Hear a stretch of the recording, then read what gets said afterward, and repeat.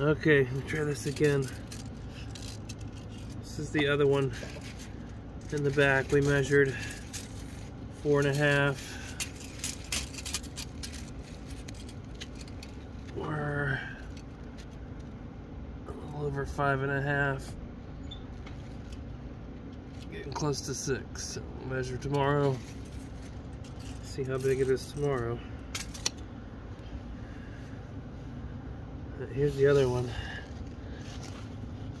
that I just took off of here. Get that.